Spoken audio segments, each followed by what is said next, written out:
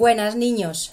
Como os dije ayer, hoy he viajado a Gran Canaria, a mi isla, y os voy a hacer unas patatas típicas canarias. Se llaman patatas al mojo picón.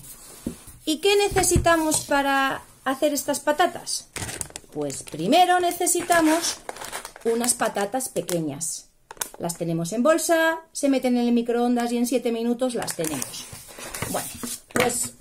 Este ingrediente, que es el que tenemos, pues está listo, como habéis oído, en 7 minutitos. Y lo más importante es la salsa. Yo la salsa que hago es una salsa que me ha enseñado mi madre y es nuestra versión. Nuestra versión de patatas al mojo picón. ¿Qué necesitamos? Aceite, vinagre, ajo, orégano, tomillo y perejil. Muy bien. Y lo más importante, un mortero. Entonces vamos a ir echando primero el aceite. Tenemos que echar bien de aceite porque tenemos unas cuantas patatas. El ajo lo podéis echar, podéis echar cabezas de ajo o podéis echarlo en polvo. Bueno, bien de aceitito. Esto es echar ingredientes al ritmo de mojo picón. Echamos tomillo, echamos orégano, este parece la pócima de la bruja Lola, echamos perejil, mucho perejil,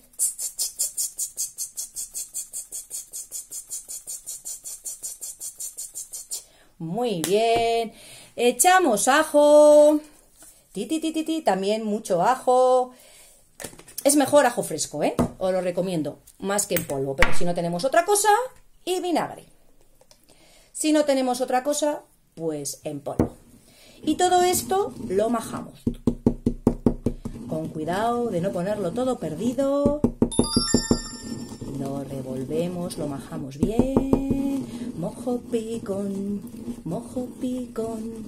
La rica salsa canaria se llama mojo picón. Y ya tenemos lista nuestra salsa para nuestras patatas. Ponemos las patatas en un recipiente. Están recién hechas. Nuestras patatitas pequeñitas y echamos nuestra salsa al mojo picón. A ver, pican porque tienen ajo, pero también podemos echar alguna guindilla o un poquito de pimentón, lo que queráis. Asimismo, están súper ricas. Bueno, chicos, espero que os haya gustado mi super receta. Y mañana ya os diré dónde voy. Hasta mañana.